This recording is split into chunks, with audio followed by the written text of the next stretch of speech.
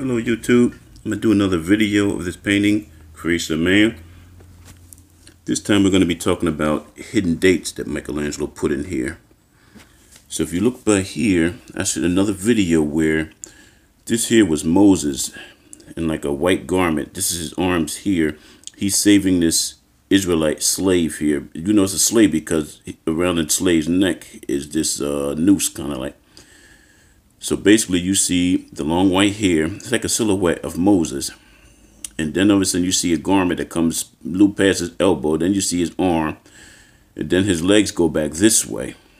The two legs, you know, go back this way. One, two.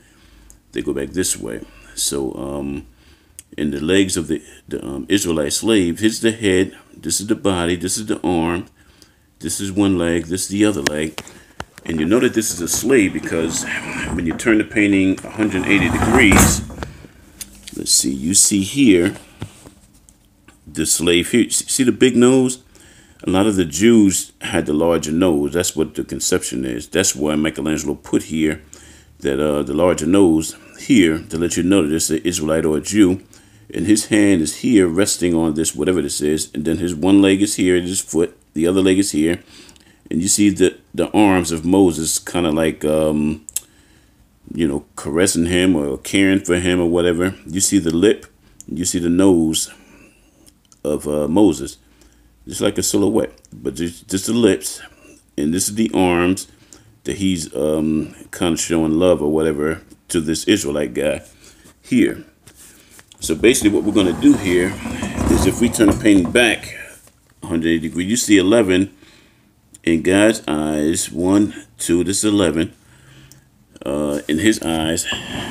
But then here, if you turn the painting 90 degrees, you see 1, you see 5, which is 15, and then the arms would be 11, or in the eyes.